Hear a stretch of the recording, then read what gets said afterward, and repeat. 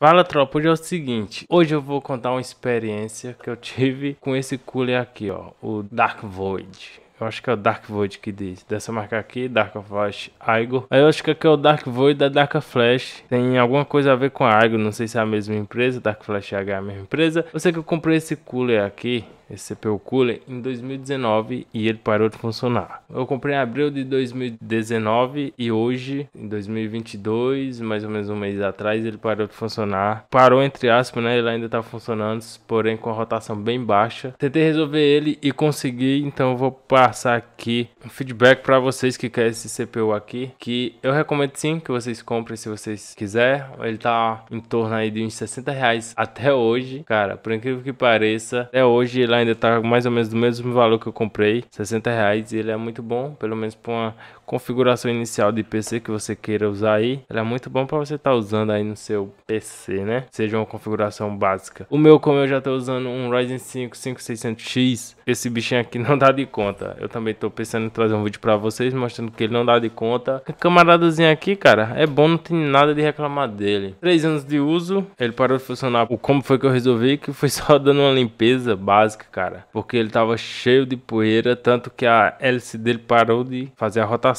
com a velocidade ideal, o RPM ideal. Recomendo você estar fazendo também quando você quiser. Então esse vídeo vai servir como eu fiz voltar a vida desse bichano aqui, entre aspas, para você também estar tá fazendo uma limpeza no seu Dark Void ou qualquer outro CPU aí que você tiver, basicamente a mesma coisa. Eles seguem uns modelos básicos que se você conseguir desmontar um e limpar os outros também vai ser a mesma coisa ali. Basicamente, beleza? Então, sem mais delonga, vou mostrar vocês aqui como ele tá limpinho como ele vem. Ele tem um conector de três pinos e como é que ele tá aqui, ó. Depois de três anos de uso, olha só como ele tá bem limpo agora. E o que eu falei a vocês era somente poeira. Em seguida eu vou mostrar o vídeo aí como você tá fazendo a limpeza nele. A hélice dele já tá girando aqui, ó. Bem maneiro. Uma coisa que eu poderia ter feito que eu não fiz era trocar a graxazinha que vem aqui no eixo dele, né? Que segura a hélice. Poderia estar tá trocando. Podem ver que eles têm vários pazes. Pazes, é? São pais, né? Pais.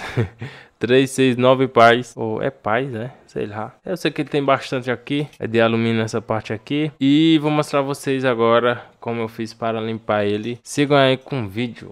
Primeira coisa que eu fiz foi notar que ele estava bastante sujo e eu pensei logo que deveria ser poeira. Então o que foi que eu fiz? Quando eu vi que poderia ser poeira, eu decidi tirar para limpar, como eu tô falando no vídeo desde o começo. Ver se ele voltava à vida, se ele girava. Vocês podem ver, eu fiz bastante teste aí nos dois PC achando que era conector, mas nos dois PC que eu tenho aqui, ele tava rodando bem devagarzinho, teve uma vez que ele parou funcionar, por isso que eu estava esquentando bastante e eu fui ver era ele que estava parado. E no outro ele estava girando bem devagarzinho e às vezes eu tinha que dar um auxílio com o girão. O girão girava ele no dedo até ele começar a pegar um embalozinho e consegui girar com a velocidade reduzida. Ele estava com a velocidade bastante reduzida, mas ele girava e deixava o processador esquentando ali, mas funcionando. Ele, pelo menos ele estava funcionando. Eu decidi tirar para limpar, então eu comecei a desparafusar e tirei tudo para limpar e cheguei a lavar com sabão. Depois botei para secar, é bem seco mesmo, evaporar toda a água dele para ele não danificar meu PC. Como eu falei, eu deveria ter trocado a graxa, cara, que vem nele, só que eu não tinha graxa aqui na hora. Então eu só limpei o excesso de graxa que tinha no pino e deixei um pouquinho de graxa já que vinha nele, né? Que vem lubrificado. E coloquei ele de novo e testei e ele veio girando bom. Ele ficou, ele ficou girando bom, né? Não tava girando com dificuldade como no começo. Então esse CPU Cooler, se você estiver interessado em comprar, até hoje ele tá aí nas casas de 70 reais. E eu comprei no AliExpress, mas no Brasil também você encontra com o mesmo valor que eu já vi. É o Dark Void em algumas empresas aí aí que não são patrocinadores do canal, então eu não vou divulgar aqui. Mas você pode pesquisar aí pelo nome dele que você vai encontrar no Google. Como eu falei para vocês que eu comprei ele em 2019. Basicamente ali ele funciona em todas as plataformas. 1155, LGA 1156, da AMD, AM3, 775. Ele vai funcionar ali em todas as plataformas aí mais ou menos, todas os so, é socket que fala, eu acho que é socket, todos os socket ali, ele vai estar tá funcionando. Ele tem um RGB bem bonito, cara, que não é regulável, não é controlável o RGB dele. Vai ter ali umas coresinhas girando, mas você não consegue controlar as cores dele. O RPM, pelo que eu vi, é a rotação dele é de 800 a 2500 RPM. Isso que eu vi no, nas especificações dele antes de eu comprar. E o peso dele é 266 gramas. E ele usa uma tensão de 12 volts. Pelo menos lá, a esperança de vida que eu vi lá no site era de 30 mil horas. Que comigo já, como faz 3 anos, deve ter passado disso, eu acho. Mas a, o bichinho tá funcionando até hoje. E para um Ryzen 3 1200 como eu tenho, ele não deixava nada a desejar. Agora, se eu for colocar no meu